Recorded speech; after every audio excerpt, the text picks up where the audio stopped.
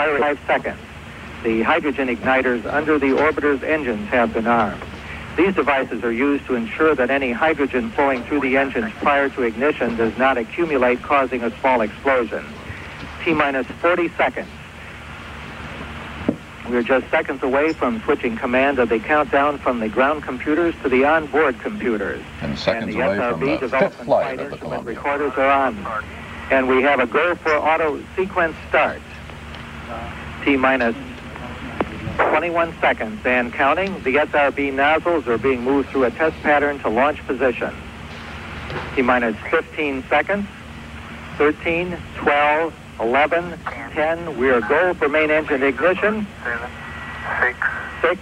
We have main engine ignition. Three, two, one, and solid motor ignition and liftoff. Liftoff of the first operational space shuttle mission with two satellites on board. Look at that The glow. has cleared the tower. roll pitch program. Roger, roll Columbia. Houston now controlling. Mission control confirms roll maneuver started. A magnificent launch. 20 seconds. Thrust looks good. 26 seconds. Roll maneuver completed. 30 seconds. Columbia now one nautical mile in altitude. Throttling engines down to 85% as programmed. Crew of four on its way. Mark 40 seconds. Columbia now two and a half nautical miles in altitude, one nautical miles downrange. Mark 50 seconds coming up now and period of maximum aerodynamic pressure on the vehicle. 55 seconds. Columbia now four and a half nautical miles in altitude. Mark one minute. Pass through max Q. Still looking good. Uh, throttling engines back to 100%. Giving a go at throttle up. Columbia, this is Houston. You're go at throttle up. Roger, go throttle up. Mark 1 minute 10 seconds. Columbia now 7 nautical miles in altitude, 5 nautical miles downrange. Mark 1 minute 20 seconds. Uh, Columbia now 10 nautical miles in altitude, 7 nautical miles downrange. Columbia, Houston, we're monitoring a slightly depressed trajectory expected because of the headwinds. Roger, understand. 1 minute 35 seconds. I was Capcom Bob Stewart advising the crew a slight depression because of the headwind. Columbia moving out now as pre-planned on three good engines. 1 minute 45 seconds. Brand, Overmyer, Lenoir, Allen uh, now coming to the last traces of the Earth's atmosphere. Columbia now 19 nautical miles in altitude, 18 nautical miles downrange. And they're riding upside down. Mark, Soon that two minutes. matter. Standing by now for solid rocket down. booster separation confirmation. Roger, PC. Columbia now 25 nautical miles in And altitude. there is the separation of the solid rocket boosters. Good. Two minutes, 15 seconds. Confirmed solid rocket booster separation. On the last flight, they fell into the Atlantic Ocean Two and minutes. sank. 22 seconds. Onboard guidance we hope is we have that converging as corrected. program. Columbia is now steering for a precise window in space for main engine cutoff. 31 nautical miles in altitude, 43 nautical miles downrange. Main engine cutoff, the next big step. Columbia, this is Houston. Your first stage was uh, low on performance this morning. Okay, fine. Two minutes, 40. Two minutes, 49 seconds. Columbia now 37 nautical miles in altitude, uh, 58 nautical miles downrange.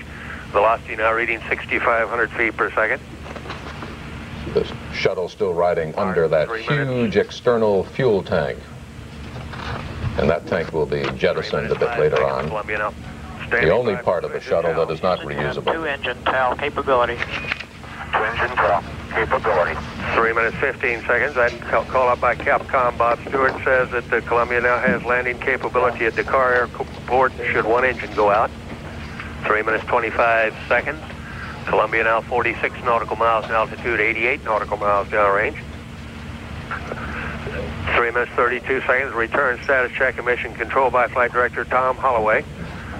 The uh, crew aboard Columbia given a go to continue. Three minutes, 40 seconds. It appears to have been a perfect launch. Altitude 105 nautical miles downrange. Standing by now for negative return. Negative return is sort of a point of no return. They cannot return now to the seconds. Launch site. They cannot. Brand and Company committed to space travel. They can no longer turn around and return to the launch site. Mark 4 minutes 5 seconds. Columbia now 52 nautical miles in altitude, 132 nautical miles downrange. And they all got their astronaut pins because they're above 50 Columbia nautical miles altitude. So they are in space, but they're not quite in orbit as yet. That's correct.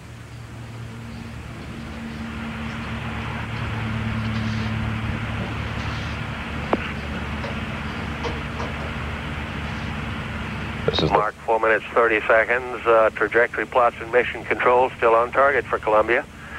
Brand over Overmyer, Lenoir Allen swiftly moving downrange now. Now 50 or 174 nautical miles downrange.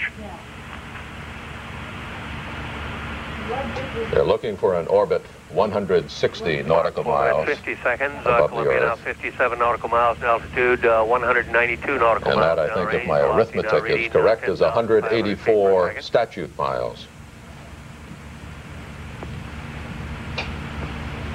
Columbia Houston, your go at 5 minutes. Roger, go five minutes. Mark 5 minutes 10 seconds. Columbia now 58 nautical miles in altitude, 222 nautical miles downrange. Three astronauts are sitting in the upper deck, the flight deck, and they probably have a view of what's Standing ahead. by for press to MECO. One astronaut down below. press to MECO. That means uh, go ahead to main engine cutoff. MECO, main Right. engine cutoff. Columbia, you have pressed to Even if one engine is lost, they can now achieve orbit.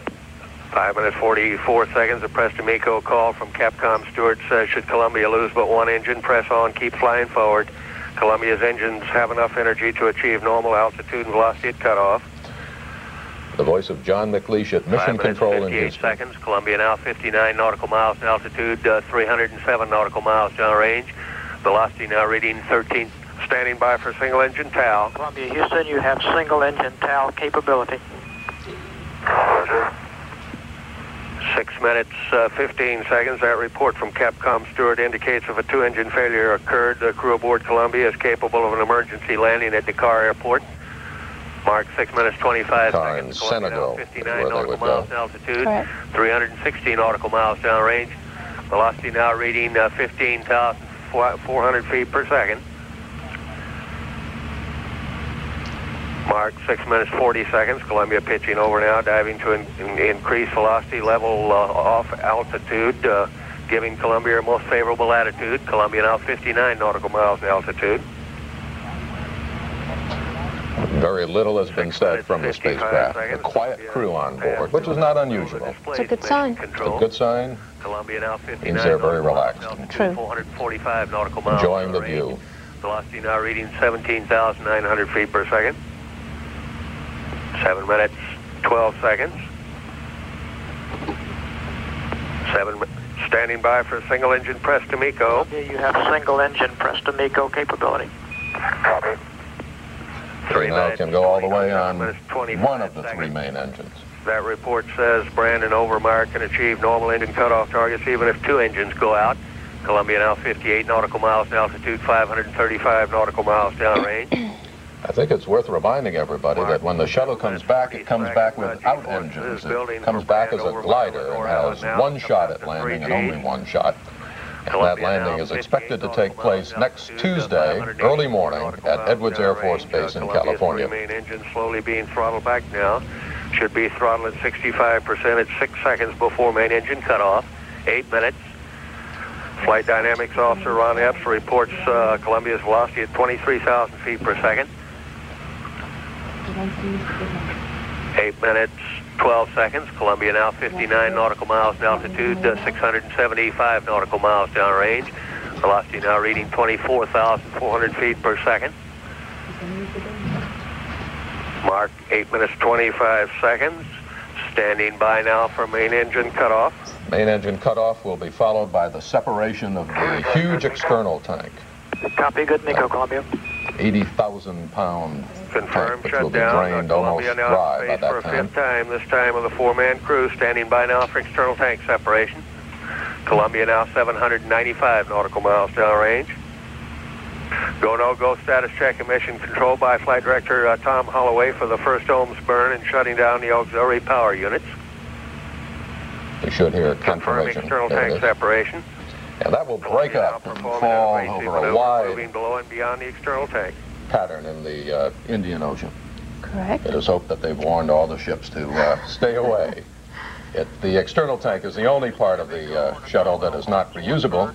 there were two uh, parachutes on board that uh, helped the solid rocket boosters drift into the Atlantic a few moments ago, two parachutes that were used on the second shuttle flight. So they're beginning to make use of some of the parts that were used on the earlier shuttle or in the earlier shuttle flights. Let me uh, just move down here and grab this model and see how this works. We have a toy to play with. And just explain that in about eight hours, the uh, shuttle will uh, really become operational.